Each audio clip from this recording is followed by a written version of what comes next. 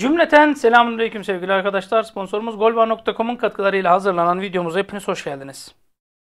Yani özürler dileyerek bu videoya giriş yapmak istiyorum. Ee, niye özür diliyorum? Şu yüzden arkadaşlar normalde bu videomuz ve bundan önceki videomuzda 8-10 dakikalık videolar halinde olacaktı ama sanırım o videoyu arttırdık ama bu videonun da sanırım süresi birazcık geçecek. Peşin peşin ben özrümü dileyim de sonra videoyu işte uzundu diye beğenmedik deyip de beni üzmeyin arkadaşlar. Rica ediyorum lütfen videoları artık beğenmeyi alışkanlık haline getirelim. Yani hem kanalın selameti için hem e, kanaldaki projelerimizin sürmesi için hem de arkadaşlar gerçekten mutlu oluyoruz. Bizi mutlu etmek için yani sadece beni değil İbrahim'i, Buğra'yı ve diğer bütün takipçileri mutlu etmek için lütfen arkadaşlar beğenileri alışkanlık haline getirelim. Her videoda söyleyip de sizi sıkmak da istemiyorum. Bu videoda söyleyeyim yeterli. Fenerbahçe'nin forvet transferi. Şimdi ilk olarak şunu belirteyim arkadaşlar. Fenerbahçe forvet transferi yapacak inşallah. Bugün daha doğrusu ben e, şu an akşam saatlerinde çekiyorum ama yetişmezse diyeyim 12 Temmuz'da Fenerbahçe'den kap geldi. Fenerbahçe Joshua King ile prensip anlaşmasına varıldığını, not oyuncusu e, boşta olduğu için varıldığını Norveçli golcünün İstanbul'a geleceğini açıkladı. Ve Fenerbahçe yeni sezon öncesi bir ismi daha kadrosuna katmaya hazırlanıyor diye verdik haberi. E, Fenerbahçe'nin yaptığı açıklamayı da okuyayım arkadaşlar. Kulübümüz Norveçli futbolcu Joshua King ile prensip anlaşmasına varmıştır. Oyuncu sağlık kontrollerinden geçmek ve ileri transfer görüşmeleri için bu akşam saatlerinde İstanbul'da olacaktır. Mustafa Hoca yine bir ne? Bild falan diyor. Alman gazetesinden bahsediyor herhalde. Şimdi hocam ya biz King'i niye aldık? Geçen sezon bu adam sakattı diyorlar. Arkadaşlar hadi beni boş verin. Vallahi beni boş verin. Sallayın gitsin beni. Beni çok önemsemeyin. Okey. Sevmeyin. Okey. Ya abi interneti ne olur düzgün kullanın ya. Ne olur düzgün kullanın. Etmeyin, eylemeyin. Gözünüzü seveyim arkadaşlar bak. Transfer markete futbolcunun adını söyleyip girin. Google Chrome'dan girin. Bilgisayar bakışı değil. Orada futbolcunun profiline girdiğiniz zaman performans bilgileri, o performans bilgilerinin e, genel bakışı diye bir yer var. Oraya girdiğiniz zaman sezon seç, toplam bilanço diyor. Ona tıklayıp 2021-22 sezonu seçin. Göster deyin. Göster dedikten sonra size gösterecek. 33 maça çıkmış. 5 gol 3 asisti var. 2294 dakika. Not. Ha kupada ben de atarım. Bütün gol ve asistleri Premier Lig'de yapmış. Her Premier Lig'de ben yapamam. Bu arada 9-0 Ermenistan'ı yenmişler. Milli takımlarıyla birlikte 29 Mart 2022'de 9-0 yenmişler. Helal olsun. 8'den fazla yeni takımlar da varmış. 3 gol bir asist yapmış mesela. 9 tane. Helal olsun. Helal olsun dayıoğlu. Sana, sana helal olsun. Gerçekten seni tebrik ediyorum. Manchester United'a gol atmış. Leicester City'ye gol atmış. West Ham'a karşı asist yapmış. Mesela şu an bütün mevcut veriyorunda Everton'a hat-trick yapmış. Başka Norwich deplasman e, deplasmanında asist. Newcastle'la evinde oynadıkları maçta asist yapmış. Çok detaylı analiz Bilginiz olsun arkadaşlar. Şimdi 30 yaşındaki futbolcu 5 gol 3 asist. Fenerbahçe bonservis ödemeyecek. Serbest statüde yer alıyor. Resmiyet kazanması durumunda 8 milyon euro piyasa değeri olan futbolcu. Daha önce de size söyledim arkadaşlar. Ee, haberde de uyarı olarak eklemişler. Oğlunun fotoğrafını paylaştı. Tecrübeli futbolcu 2020 yılında oğlunun Fenerbahçe forması giymiş fotoğrafını paylaşmıştı. Norveçli ismin, ismin bu paylaşım sonrasında Sarı lacivertlere transfer ihtimali gündeme gelmişti diyor. Bu arada bilginiz olsun 5. transfer. Not Mustafa Hoca yine bildi demek ukalalık sayılıyor biliyorum sizin nezdinizde ama maalesef özürlerimi sunarak yine bildiğimi belirtmek isterim. Neyi bildin? Ali Koç ve Jorge Jesus'un ikisi birden 3-4 transferle transferi kapatacağız derken 7 artı yalansa yalan deyin. Hadi çıkın inkar edin. Hadi arkadaşlar bazı arkadaşlar çıkın inkar edin. Deyin ki öyle bir şey söylemedim. Sonra sizi tık tık tokatlasınlar. Ben daha abartmıyorum. ben daha abartsam. Şimdi e, King ile ilgili şunu belirteyim arkadaşlar. İyi bir transfer oldu. E, forvet attı güçlendi. Hocam forvet transferi King ile bitemez. Hayır bitmedi. Size kim bitti diyor. Arkadaşlar bakınız. Sevgili arkadaşlar. Joshua King transferi forvetten bağımsız bir transfer. Yani e, bu bağımsız bir transfer. Peki hocam kim gidiyor? Kim gitmiyor ya? Durun sakin olun. Ya, yok hangi futbolcu gidiyor? Mergin Berişa'yı göndereyim mi? Ne oldu? Hocam Mergin Berişacıydın sen. En büyük Berişacıydın. Türkiye'deki belki en büyük Berişacı, en büyük rostici benimdir. Doğruya doğru. Bunu asla da inkar etmem. Ben de öyle kıvırma mıvırma olmaz. Beni e, sabah bir futbolcu, akşam bir futbolcu yazıp da sonra bu futbolcular olmayınca bile anında o gün başka bir şey yazıp ilk ben demiştim diyenlerle karıştırmayın. Bir sakin olun. Berisha maalesef üstüne çok düştü Jesus. Bu süreci de geçtiğimiz günlerde de anlattım.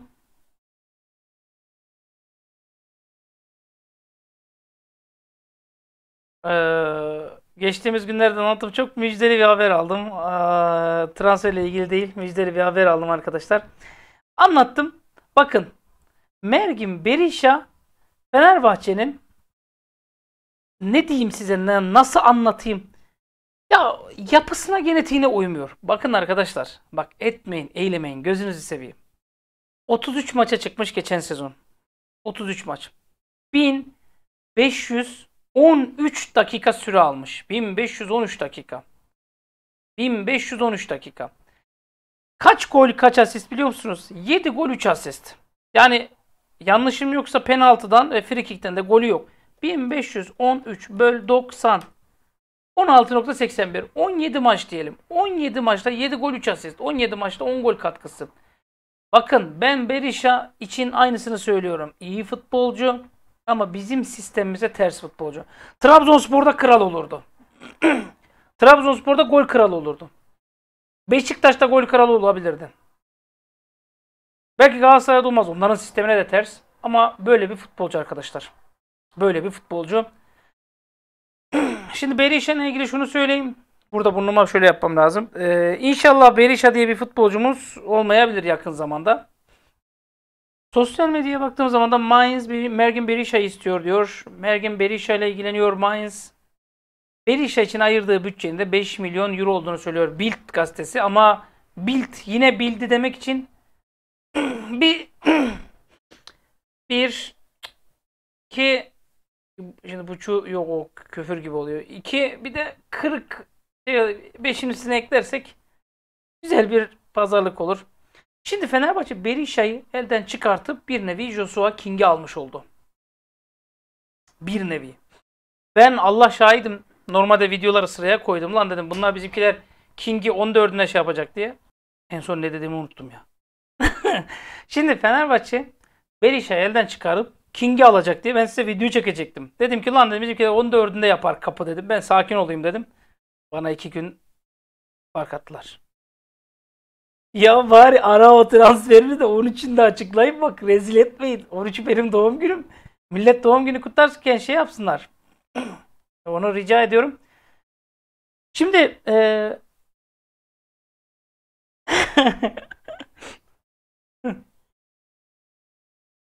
Aa, pardon e, gol var bardağımla şey yaptım. Şimdi e, Fenerbahçe'nin hedef santraforu başka. ikinci santraforu bazen GF, GF gizli forveti başka. Şimdi hücum çeşitliliği için düşünülen bir isim. Bonservisi elinde. Watford'la sözleşmesi bitmiş. İyi bir Fenerbahçe taraftarı.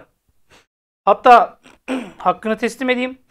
Volkan Demir'in, Ahmet Selim Kul'un e, bu transferin bitimine dair sözleri vardı. Şimdi ben hak, hakkını teslim ederim. Gerçi gün olarak biraz şeylikleri var ama canları sağ olsun sıkıntı değil. E, yeter ki onlar iyi olsunlar. Canları sağ olsun yeterli. Şimdi değerli arkadaşlar ben demiştim ben demiştim demeyi seven bir adam değilim. İnanın değilim. Ama şu açıdan memnunum. Gerçekten memnunum. Türkiye'deki e, ilk diyenlerden e, olmaktan dolayı memnunum açıkçası. Ben şunu söyleyeyim ya bizim kanalın çok güzel bir özelliği var. Hem sponsoru var, hem takipçisi var, hem sahibi var, hem seveni var, hem destek olanı var. La o kadar güzel duyumlar vardı ki, o kadar güzel şeyler vardı ki. Ee, ya da neyse şimdi üyeliği anlatıyorum. Bazı arkadaşlarım yanlış anlıyorlar. Bazı arkadaşlarım gerçekten yanlış anlıyorlar. O yüzden üyelikle ilgili çok fazla bir şey söylemeyeceğim. Ee, ama şunu da belirteyim arkadaşlar. Fenerbahçe bir tane az forvet alacak. Alacağımız az forvet için ben size sadece ve sadece şunu söylüyorum. Rahat olun. Rahat olun. Rahat olun. Lütfen rahat olun. Şimdi King ile ilgili şunu söyleyeyim. Arkadaşlar Berisha'dan çıkıp King geldiği zaman birçoğunuz okeysinizdir değil mi? Muhtemelen. Çünkü ee, Joshua King Berisha'ya göre gerçekten futbolcudur yani. Ona göre çok çok üst düzeydir. Yanına alınacak oyuncunun kalitesi de bence önemli. Misal Joshua King, Luis Suarez. Nasıl olur? Joshua King, Luis Suarez. Kabul müsünüz? Hayvan gibi şey yapıyorsunuz. Tebi, terbiyesizlik yapıyorsunuz diyordu. Hani neydi hayvan gibi şey yapıyorsun. Hayvan gibi şey yapmış gibi olmaz mıyız? Gerçekten bak soruyorum. Joshua King, Luis Suarez. Okey misiniz? Forvet hattını tamamlayalım. Ya arkadaşlar ne olur bir şeye de he deyin ya. Ya kıllık yapmak için kıllık yapma. Ya ben istemem yaşlı. Ben istemem. Emekli sandığı bağ kuru var. Ben istemiyorum onu. Ben ben okeyim. Ben okeyim. Aklı başında herkes okey olur. Hocam gelir 35 yaşında Falcao gibi sakatlanır. Lan bu ihtimal 27 yaşındaki futbolcuda da var. Hocam ben istemem. Lan istemezsen isteme lan. Terbiyesiz adam. Bak şimdi burada şifreli vereceğim şeye dikkat edin. O yüzden önce çayımı içmem lazım. Bir de öksürük. Kusura bakmayın. Joshua King, Luis Suarez, Valencia, Serdar Dursun. Bence ileri ikili için müthiş seçenekler. Bunların yanına Arda Güler ve e, Lincoln'u da ekleyebilirsin. Zaman zaman Rossi'yi de ekleyebilirsin. Bence şu aşamada King, Suarez, Valencia, Serdar Dursun yeter. İnanın yeter. Gayet güzel de ön taraf olur. Son olarak yok son olarak değil. Ee, Mesut Özil'in menajeri bir şeyler söylemiş. Mesut Özil hala Fenerbahçe'nin futbolcusu evet Başakşehir'den teklif aldık falan filan demiş. Ama Mesut Özil'in menajerinin dediğinden ziyade Mustafa Hoca'nın bir cümlesi var. Kanalla özdeşleşen. He hocam sponsorumuz golvar.com'un katkıları. O mecbur. O değil başkası. Eşek yok o da değil lan. Başka ee, Mustafa Hoca yine bildi. Yok. Ben söyleyeyim mi? Söyleyeyim mi? Mesut Özil kim? Who is Mesut Özil? Who is Mesut Özil? Kim bu? Şimdi değerli arkadaşlar ekrana yansıtabilirsem, becerebilirsem şunu anlatacağım. Geçtiğimiz günlerde sosyal medyada birisi Fenerbahçe futbolcularının aldığı maaşları paylaşmış. Muhtemelen paylaşabiliyorum ha. Şimdi e, burada büyük hatalar var. Mesela Mesut Özil 3.9 diyor. 3. Yani en azından kulübümüzden aldığı resmi ücret 3. Bilmiyorum belki de e, sponsorları vardır. Golvar.com'dan zengin sponsorları vardır. O ödüyordur. Samat'ta 3.240 yazıyor. Bu doğru değil. 2.6 alıyor. Gustavo 3.24 240 diyelim. 3.240 almıyor. 2.75'ti. 2.6'ya düştü. Sonrasında 2.2'ye düştü diye biliyorum. Kim Meji 2350 bunu duydum ama ben doğrulatamadım. Bilginiz olsun. Berisha 1760 diyor. Kesinlikle doğru değil. Berisha'nın aldığı ücret doğru değil. Berisha 700 bin ila 900 bin arasında bir para alıyor diye biliyorum. Şimdi Berisha gideceği zaman bu 1.760'ı kabul etmezler de 700-900'ü kabul ederler onu da söyleyeyim. Valencia 1.760 almıyor. Valencia maç başı ücret alıyor. Bilginiz olsun. Yine aynı şekilde Steven Colker 1.730 almıyor. 730 alıyor. Tisserand 1.620 Ben 1.8 diye biliyorum. Onu da düzelteyim. Novak 1.4. Buruma 1.380 yok. 1.2'yi geçemez. Zannetmiyorum. İçlerinde en güldüğüm Mert Hakan 1.3 diyor. Kusura bakmayın gülme tuttu. Ulan Mert Hakan Türk. Türkiye'den alındı. TL bazında sözleşme imzalandı. Mert Hakan'ın sözleşmesi 10 milyon TL değil miydi? A, a, a akılsız arkadaşlarım. Açın kapı açıklamasını. Ha, 10 milyon TL 1.3 yapıyorsa çok güzel. Ekonomi Bakanımıza teşekkür ederim ya da başkasına devlet yetkililerine. Demek ki Euro'yu çok düşürmüşler. Benim haberim yok. Pelkas 1.2, Salahi 940 doğru. Rosti 910. Ne oldu? MHYB. Bu arada e, Pelkas 2023 bitiş gösteriyor da bir sene daha yok muydu ya? Demek ki bende sıkıntı var. İrfan 910 bin diyor. Bu tam doğru değil. 910 bin değil. Biraz ondan biraz yüksek. Devam edelim de aklınıza soru işareti kalmasın. Serdar Aziz 900 bin e, daha düşük. Osayi 900 bin daha düşük. 550 bin euro Osayi'ninki. Opsiyon da var. Şey, e, bonus da var. Lemos 850 bin 600 bin Lemos. Serdar Dursun 760 bin. Serdar'ınkini bilmiyorum ya. Vallahi hakkınızı helal edin. Serdar'ınkini bilmiyorum. Burak Kapacak 710 bin. 350 bin olmasın Burak Kapacak. Yanlışınız olmasın. Zeiss 710. Altay 590 doğru. Yok. Pardon Altay 590'a uzatmadı daha. Uzatacağı fiyat 590'ın üstünde. Ama TL bazında yine. Crespo 590 doğru. Ferdi Kadıoğlu 120 bin. Bu ilk sözleşmesi arkadaşlar.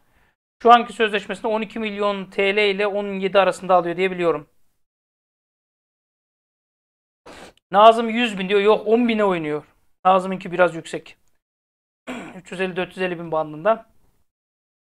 Çağatay 80, Muhammed 60, Arda 20 bin. Arda'nınki 20 binden arttı merak etmeyin. Serhat Ahmetoğlu 20 bin, Arda Okan 20 bin, Ertuğrul Çetin 20 bin. Bu zaten standart prosedür. Profesyonel sözleşme imzalayanlarınki biraz daha değişik oluyor. Şimdi hocam biz King'in parasını nasıl vereceğiz? Luis Gustavo'yu nasıl vereceğiz? Çok basit. Berisha'yı gönderirsin. Max Mayer az önce adını anmadık herhalde ama yani bir 750 binde o alıyor diye biliyorum. Max Mayer'i gönderirsin. 750. Bak. Gustavo'yu gönderirsin. Hadi bir 2 de onu sayalım. 2 750. Pelkas'a teklifler var. Pelkas'ı gönderirsin. Hadi 1 250 de o alsın. 3 4 5 diye bak kaç tane futbolcudan çıktı parası. Büyük ihtimalle Fenerbahçe'miz Yok lan duyum olarak vereyim. Berisha, Max Mayer, Gustavo, Pelkas yok Berisha'yı saymıyorum. Max Mayer, Gustavo, Pelkas, Kolker. Ben diyorum ki Allah'tan bir mani gelmese %100 olarak bu dördünün ikisi gidecek. Bakın diyorsunuz ya %100 duyum istiyoruz. Alın size %100 duyum. İkisi gidecek. En az ikisi. Üçüsünün gitme ihtimali %70. Dördüsünün birden gitme ihtimali %1. Artık mesajı nasıl alıyorsanız öpüyorum size bırakıyorum. Şimdi Fenerbahçe Mesut Özil'i gönderirse 3 milyon euro boşa çıkmış olacak.